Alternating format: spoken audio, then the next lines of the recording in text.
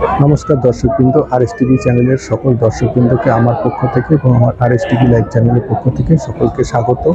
আজকে হচ্ছে শুভ পঞ্চমী, অর্থাৎ আজ থেকে দুর্গাপুজো শুরু হচ্ছে, কালকে শুভ ষষ্ঠী, আজকে শুভ পঞ্চমী। তাই আমার পক্ষ থেকে এবং আমার চ্যানেলের পক্ষ থেকে সকল দর্শকবৃন্দকে আজ আজ শুভ পঞ্চমী, প্রতি শুভেচ্ছা, আন্তরিক অভিনন্দন। সকলে খুব ভালো থাকবেন, সুখে থাকবেন, সুন্দর থাকবেন। নমস্কার, ধন্যবাদ।